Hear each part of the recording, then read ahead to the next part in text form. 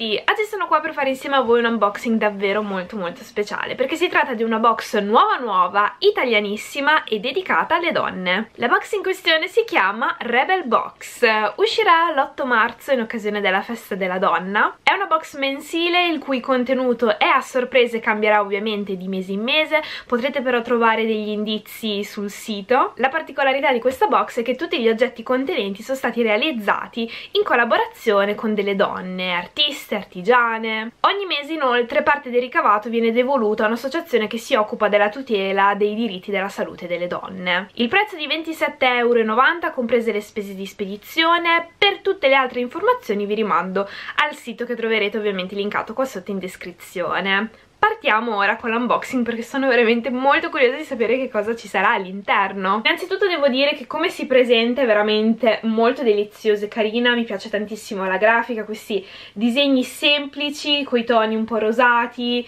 e poi qua sopra in cima c'è scritto Girls Can Do Anything. Scopriamo insieme il contenuto, sono veramente molto emozionata. Ecco come si presenta ancora non si riesce bene a intuire niente. La prima cosa che noto in questa box sono delle cartoline che penso servano a raccontare la storia delle ragazze che ci sono dietro questa box. Quindi le tengo momentaneamente da parte ma poi le andremo a rivedere insieme. Allora il primo oggetto è penso una tazza Home is where my books are. Veramente bellissima. La frase almeno mi piace tanto e anche i colori utilizzati. Adesso l'apro e ve la mostro meglio. No! È stupenda perché oltre alla citazione davanti c'è anche questa bellissima illustrazione di una ragazza che legge con un gattino di fianco, un gatto rosso è bellissima, mi piace veramente tanto. La tazza è stata realizzata da Anna Maria, c'è infatti, eh, come vi dicevo all'inizio, un cartoncino dedicato con la storia eh, di questa creatrice. Ha una grande passione per i fumetti, l'animazione e il mondo Disney, quindi vi lascerò i suoi contatti poi qua sotto in descrizione. Andando avanti c'è questo sacchettino misterioso, molto profumato, non riesco bene a identificare l'odore, però sa di buono. Secondo me potrebbe essere una candela o una saponetta, però punto di più sulla candela, se riesco a togliere il nodo. Ce l'abbiamo fatta, o almeno ce l'ho fatta.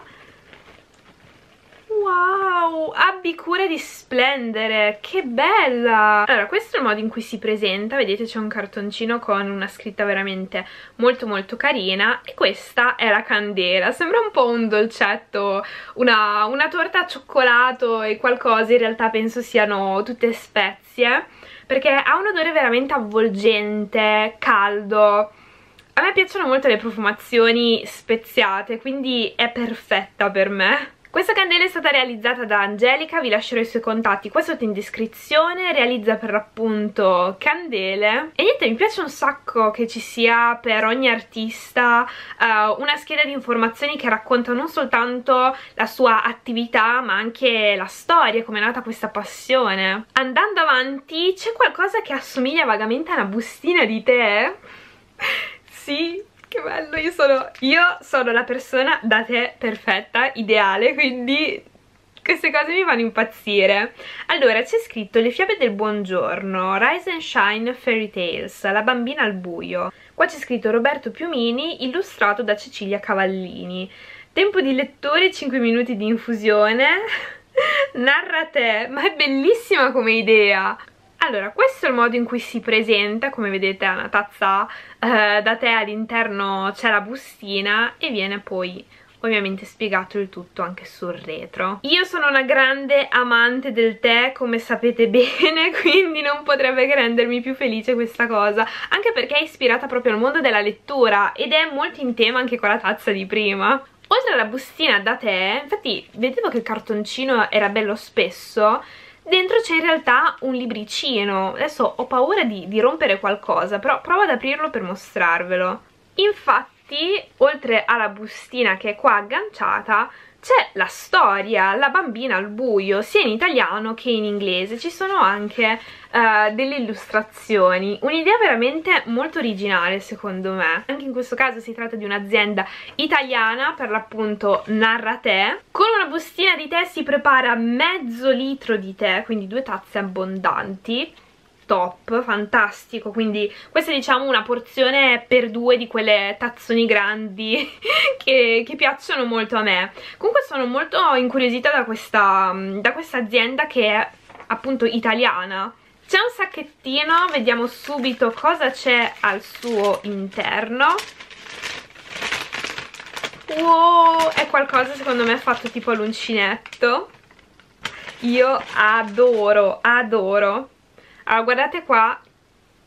Che cosa carina, questo è tipo un copritazza. Ne ho fatti anche io perché sono veramente comodi. Sapete quando la tazza scotta e non riuscite a tenerla in mano? Ecco, questa avvolgitazza serve per quello. Ecco qua, guardate che bello. A parte che i colori sono veramente molto carini perché è un grigio tendente a lavanda comunque, tipo glicine.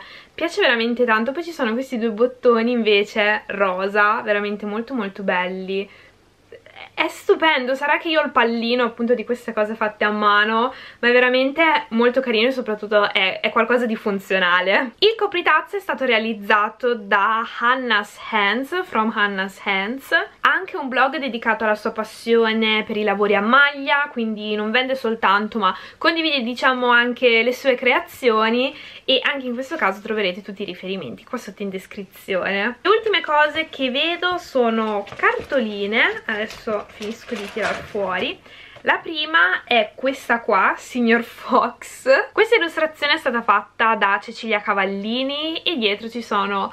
Uh, c'è qualche riga che racconta la storia di questo Signor Fox, veramente molto carina. E poi un sacchettino Bossy perché credo proprio che questa prima box sia in collaborazione con Bossy. Vedo delle spille, uno sticker per chi non conoscesse Bossy è un progetto che parla di parità, disuguaglianza fra uomini e donne e si batte per i diritti della comunità LGBT. All'interno ci sono delle cartoline, il primo è Bossy in cui viene raccontato essenzialmente che cos'è, un'altra cartolina veramente molto carina ma forse la mia preferita è questa qua.